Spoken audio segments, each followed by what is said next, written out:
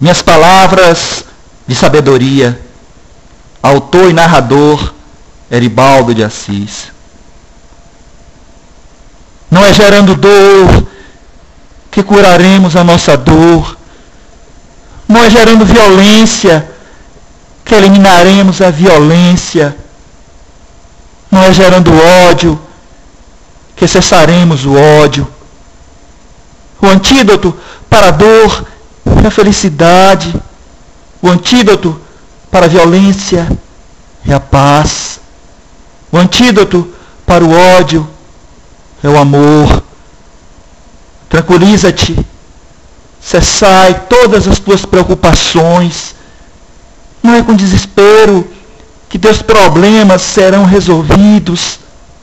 Não é com angústia que saborearás a felicidade. Não é com ansiedade que anteciparás a vitória.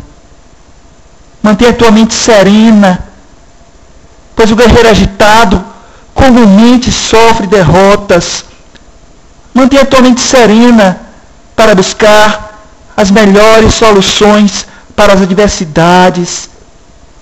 Ficar em paz consigo mesmo. Ficar em paz com o universo com todas as criaturas.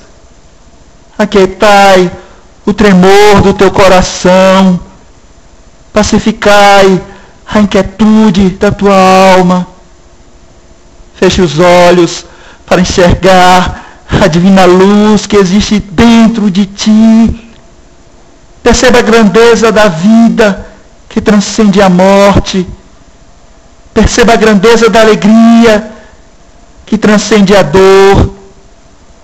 Perceba a grandeza da alma que transcende a matéria. Eu estou vivo.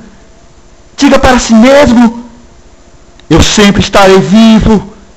Repita para si mesmo. Minha felicidade interior supera qualquer dor. Minha paz transcende as ondas da inquietude. Meu amor faz com que o universo seja meu amigo. E eu triunfo sempre, não porque saiba lutar, mas porque sei amar.